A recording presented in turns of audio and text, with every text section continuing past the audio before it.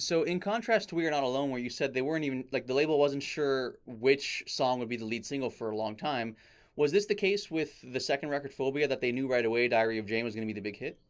We all knew Diary of Jane was designated as a, as a song. There was a couple of great songs on that record we loved, but Diary of Jane was ambiguous enough lyrically because you know nobody could sort of figure out what it was about. Hmm. And of course, I knew what it was about, and I think it in, invoked a lot of imagination lyrically, and the melody. You know, would you like that? We, we were hitting them with hooks long before the chorus came. You know, Hmm. and so we knew that the the um, the verses were extremely powerful. Ben could write a chorus that you just want to hear over and over again. That was his is his great ability. And I think we all knew from the demo that that it was a special song. We spent at least three weeks in, in Ben's basement recording the demos and practicing. Diary of Jane had four courses. So I would come down to the basement. He goes, Well, the next song's Diary of Jane. I was like, what, What's this about? It would always be this conversation. What's the song about? How are we approaching it? The guitar parts in that song were always brilliant. I mean, Aaron had parts and, and Ben had parts worked out. They were both brilliant. Ben sort of sat with his acoustic guitar and sang me four completely different choruses. And so all of them did not have a post chorus. In, you know, in the Diary of Jane, so tell me how it would be was never existent in existence. And I pretty well drove him nuts for three or four days. Like, would be great if we had like a post chorus to this because it kind of just leaves you hanging. It's like some, no, something's getting in the way, something's about to break, but it never ended. There, was no, you know. But in the diary of Jane, so tell me how that encapsulated and put bookends. That's cool. Man. So we went with the chorus that's currently there. I think it was like the second or third. Maybe it was the first one. Maybe it was the first one he had, you know, because he wasn't sure which chorus he liked. Uh-huh. I said, we'll take that and then re- re- change it. And then, you know, within a couple of days, he had the the ending of the chorus. And we had to add chords on because there was no chords there. And then at the ending, we had a completely different ending that went on this whole huge vocal thing that I wanted to do with a choir. really? And we mocked, yeah, we mocked it up, and it, I loved it. I thought it was great. Did you guys Yeah. actually record that and then not use it? Like, what was the story there exactly? Let me see if I can find it. It's interesting. So right uh, here, a chorus would come in. Sorry. So right here would be that chorus that comes in. Yeah, so it just kept on going. Oh, oh, a choir effect. That's really cool. Do you have like? I mean, you were just looking at it now, but like, does does a record does a version of that exist somewhere? Yeah, right here. you gotta find it, man. All right, hang on, hang on. Uh, I found it. you found it? Oh, okay. No, it's not. It's on another file. uh, don't worry But about it's that. just That's cool. this. I'll find it. That is It's really like cool. a, this long choral ending. I mean, I don't know where they changed it. They probably changed it at the label. I mean, they did that all the time to us. Like they would edit something and change it and not tell us or cut a section in half. See, what happened was when they mixed it, they started to edit it and change it. I should say this. Nobody, nobody probably even knows about this, but when Diary of Jane came out, we hadn't even heard the mix or the mastering. In fact, they got a completely different person to mix it behind our backs, behind the mixer's back, behind the band's back, and behind my back. Then they mastered it, the label, and then they put it out. So when I heard it on the radio, I'd never heard it before. Really? Yeah. And but that, that's really cool. You have all these alternative versions of it. You got to release those I- eventually. Yeah, I mean, I have that for all the songs. I would keep everything, that's you know. so cool. So when I when I moved to another record, I could learn the evolution of a song Hmm. and apply some of the same ideas um, that, it, that, that that that was great about a certain song, or maybe not to try and make the same song over again because you'd already done that in another song, or you know, because songs were like verse, chorus, or pre-chorus, chorus, verse, you know. So you try and throw in something. The greatest thing I think about Breaking Benjamin was you know, they would always throw different things in. You never knew what was going to happen. Um, so the arrangements, we tried to make them very clever and sort of drawing a little bit more on Nirvana or pop rock, you know, whatever you want to call that. That's cool, man. know. That's cool. So, if I may ask, I mean, you mentioned that you know what Diary Jane is about. Would you be allowed to disclose what the song is about? No, because by now uh, the songs that whatever it is, hundreds of millions of plays, everybody took something different from that song, and it's quite an angry song, Hmm. you know. And so, I think a lot of writers that write like Ben does, which is very to the point. In his mind, it's clear. He's also using words that are very powerful in groups Hmm. and there are not a lot of words. If you know, if you look at the lyrics, it's not like Leonard Cohen. Hmm. It's not like Bob Dylan. These these are very short. It's more melodically driven Mhm. And more. So so the answer to your question is, you know, it would serve no purpose for me to to give away the reason or meaning of a song. I know when I worked in the studio with every artist I worked with, I would get a different meaning than the artist has. You know, because I would also peel back the layers and talk to the artists about themselves and their lives. And so I would immediately get a, a totally different vision for the song than they did I hear you. It was tough because they we were late on this record the band had kind of put it off and it was taking way longer in the studio we were late so the weird part about this was that as we finished the song Mhm. we had to send it to Ben Grosse that day Oh, cool. Okay. and then he would be in his studio mixing and the label was sort of go over to Ben Grosse's house or studio every day and listen to his mix Hmm. so it was really weird it was like a i can't even describe it it was like an assembly line of we would finish the track send it to Ben Grosse he would mix it and then they would master it the next day so that which you don't ever do that. You finish an album, then you mix an album, then you master an album. In this case, it was one at a time. Now, you know, to get down dirty, which I'm gonna, I don't think I've ever picked any song and said that's a hit. You know, you'd never do that to jinx the whole record. Hmm. So I can tell you that there was certain songs I felt strong about Okay. and that the band did, but nobody ever said that's a smash, a number one. That would never ever happen. Hmm. And if we did, it would be like people look at each other going, "Oh, come on." Know, nobody knows what's going to happen. That's the truth. Mhm. We have no clue, but we felt good about the song. Uh, and Ben had done a pretty good job on the demos of that song of, of this record, Phobia. He'd spent a lot of time programming some things, drum parts, and he would always get angry at uh, Chad for not being able to play them, even though they were physically and technically impossible to play. Hmm. You know, because when you program, I love it when singers program drums for a drummer in a rock band, and you know, "Oh, wait a minute, you're hitting this the uh, the cymbal and the hi hat at the same time, and, and the you know you you do things that you physically can't do, but nobody thinks like that when you're writing parts because you're trying to write a good song. So anyway, that was funny. But rehearsals were good.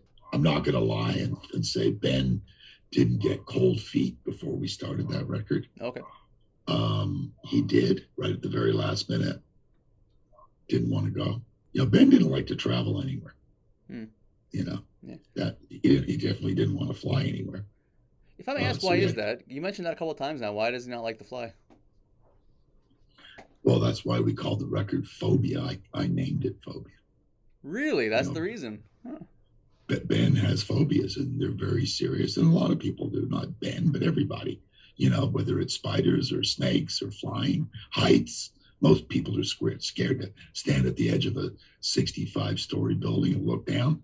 Um, these are inexplicable things in our lives that that sometimes are debilitating, you know, um, and and uh, you know, people are paranoid about certain things for lots of reasons. And one of the things Ben didn't want to do was fly. And I don't think he has since, Hmm. you know, he, which stopped Europe. Of course, we weren't going to go tour. The band never toured Europe until after I stopped working with them, which was four albums in. Hmm. They never went to England or Germany or, I mean, I'm sure we could have sold a hundred times the records we've sold. Hmm. Um, but, but eventually, I think he did take a, a, a boat there. Pretty sure he did. Anyway, but it wasn't just that. It was like, you know, pouring rain, driving, all those kinds of things. So if you listen to the first track on Phobia, it was something I put, I, I, I mixed as well, the first track and the last track. And it's to set up all of the phobias that are involved in that record. Interesting. If you listen to it carefully, you'll hear planes crashing and airline stewardesses talking and Hmm. all of the things that, that been the rain coming down, the car door slamming. It's it's a whole, you know, it's, it, it, it as if you were lying down and you were imagining all those things. That, that was the idea behind it. Now, sometimes you pull those things off and other times you don't. I think I did a pretty good job, you know, although it's not something when I listen to the record I can bear to sit through, you know, but I tried to make them each like a minute and a half, whatever they are long, Mm. to set up the idea of phobia. So hopefully that answers your question. Yeah, hundred percent. So you know, I spoke um, a couple times with Jonathan Plum, who worked with in Chains, really nice guy, and he said that one of the interesting things about Lane Staley is that Lane had an easier time doing the screaming vocals than the quieter vocals. Lane's just naturally loud, so that works for him.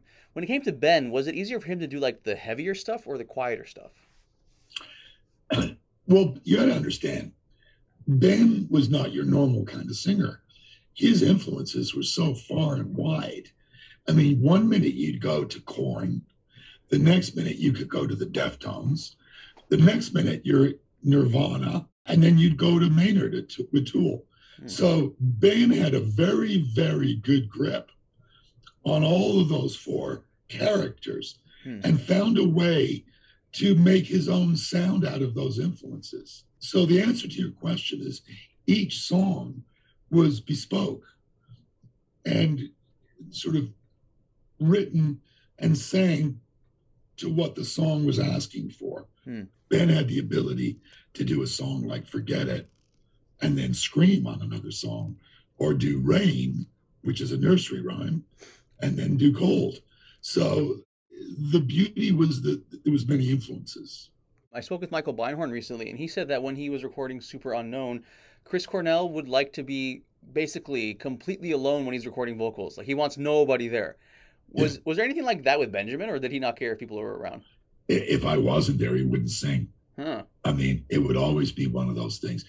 And I stood up in the studio a lot with Ben and mouthed the words to get timing. So I would do that all the time. With all three records? Hell yeah. That's cool, No, man. yeah. That's cool. Yeah. And I would conduct with my hands, you know, That's awesome. Uh, because we all we could always see each other. Musically, how is he like in the studio? So, for instance, I spoke with Mike Fraser recently, and he said that when Brian Johnson would record vocals, Brian Johnson would actually physically hold the mic. Another guy I spoke to said Perry Farrell would actually run around the studio when he's singing. Was there anything peculiar about Benjamin in the studio? Well, yeah, I mean, everybody is different, and it's funny. Uh, with singers, every singer has a window in their in their day where they're great, and you know you got to be careful. I mean, you try and get a singer in the studio at ten o'clock till noon. You know, and when I say a window, nobody can sing for longer than three or four hours. Not really. I mean, they might tell you they can. I know Bruce Springsteen does a a four hour show, Hmm. so you know, but I don't think it's. I'll tell you my Breaking Benjamin Bruce Springsteen story, which is pretty amazing. That's cool. Um, but because I, have one, but with Ben there was a window. It was usually like three in the afternoon, four in the afternoon till seven, and then maybe after dinner, sometimes eight till eleven. In regards to where we recorded, we tried recording with him singing with a microphone. We put a big foam thing around it in the control room and let him try and sing. And then we had him in the big room. We had him in the small room. And I think for the most part, we just left him in the big room in the center. And uh, the one thing, though, that you, and it's very dangerous when you're playing an A sharp and the guitars and the bass are, imagine the bass tuned to A sharp drop. You know, these notes don't exist through headphones. You know, so what I'm saying is that when you're wearing headphones, it's very hard to make out the tonality, Hmm. you know, as opposed to listening with speakers and getting the bottom end and uh, the, the definition. One of the things I think we did was put some clean guitar tracks on there so we could, or acoustic guitar tracks, so Oh, the band could sing sing along because A sharp and and that kind of robust singing is difficult to do. In Ben's case, I would say a lot of it was instinct um, because he knew and, had written these melodies where to go instinctively, and his his pitch was pretty good. Having said that, we did do multiple takes.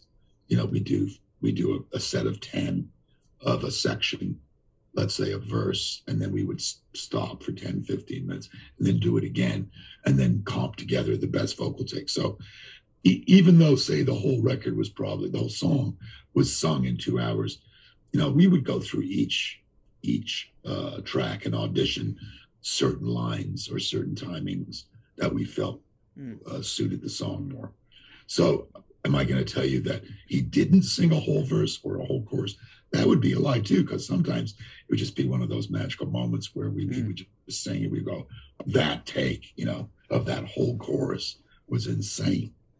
That's but cool. it's very difficult for anybody to sing a whole song from top to bottom, you know. Yeah, for sure. In a one, once in a lifetime performance with timing and tuning and not get, you know, any mistakes. That's kind of dumb. Hmm. In, in some instances where it was like attitudey, we did take the whole song and, you know, but we would always go back and spend time comping things together. That's interesting. So when it came to Ben, was he the kind of singer who, like, let's say he'd sing for 20 minutes, 30 minutes straight, take a break, 20 minutes, 30 minutes, or would he go for two hours straight? We, I would never do that to anybody. I knew better. Mm-hmm. But once you go for two hours straight, you're burning somebody out. Mm-hmm. You know, it's it's never going to work. So I would say 30 minutes, you know, 30 to 40 minutes of a verse or a chorus or a bridge and then stop for 10 minutes and then repeat. Hmm. Sometimes you sing the song four or five times. You know, now also when you're dealing with tape, it's a little bit different. Hmm. And by that time, I think we were on Pro Tools. So uh, we had the ability to be able to audition different takes. You know, we would bring them up on different faders. That's cool. And, and audition the different takes. Interesting. And like when it came to what we're listening to on the records, is his voice doubled or is that usually like a single track? Ben loved doubling. I mean, that was his favorite thing. The more, the merrier. Hmm. The problem with that, in Ben's case, though, for me, was that his voice was so identifiable and so powerful. Hmm. A double would thicken it, but sometimes when it when it got very emotional, when you double something when it's emotional, it takes away the intimacy because you've got three people being intimate with you, you know, um, and and trying to match yourself perfectly. Uh, if you match yourself perfectly, it phases. You know, the, it phases itself. So you start to lose things. Uh, so I would say I was extremely delicate when I would bring those double tracks up. Where I put them was really important.